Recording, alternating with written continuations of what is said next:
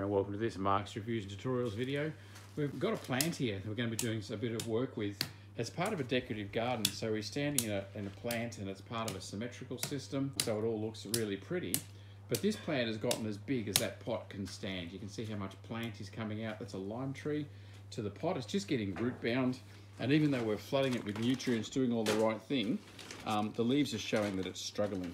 Just a lot of this sort of thing here happening. They're supposed to be a good solid green colour. There's the new growth there.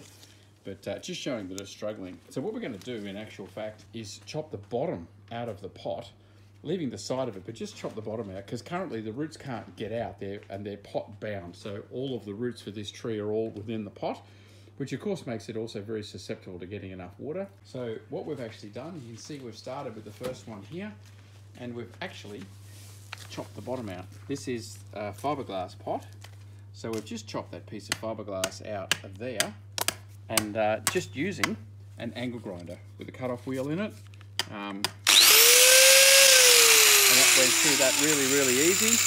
So if you look inside, we've had some, some rocks in there for drainage and so forth, which is great at the bottom of the pot, but now we don't need that. So we've bought some good quality potting mix. We're going to shove up inside and have it underneath so that the roots will be encouraged to come down. And here, what's taking place now, I'm actually driving a screwdriver into the ground, just creating holes. There's clay here.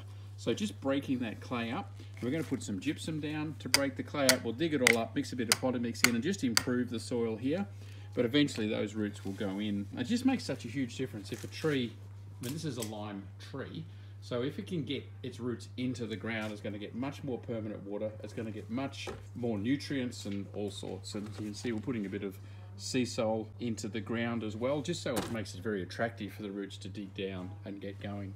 But uh, if you've got a plant which is overgrown its pot, and it's part of a decorative situation, I mean, you can just cut it back, prune it back, keep it small, but we're wanting to get fruit out of these lime trees, so we're wanting to let them get their roots into the earth without putting big pots. It's not going to fit here.